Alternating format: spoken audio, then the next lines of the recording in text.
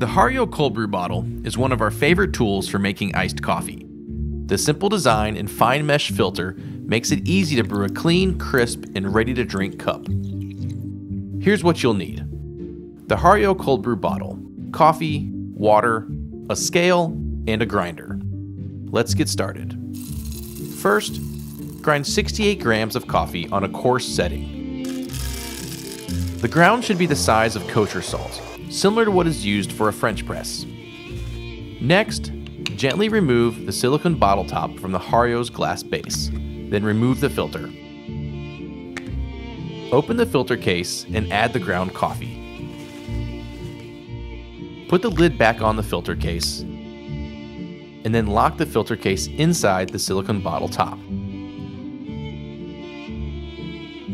Now fill the glass base with water. The bottle has three small gray squares etched vertically along the side. The water should come up to the top square. This equals about 750 grams. Remove the rubber cork and then gently lower the filter into the bottle, allowing the water to pass into the coffee grounds.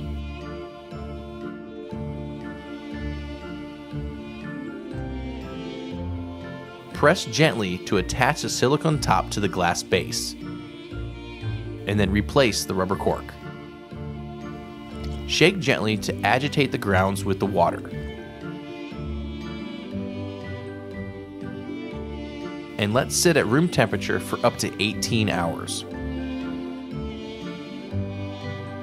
Now that we have completed extraction, gently shake the bottle to stir the coffee.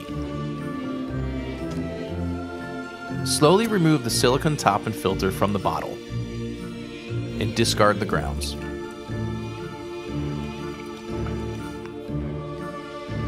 Then replace the silicone top back onto the glass base.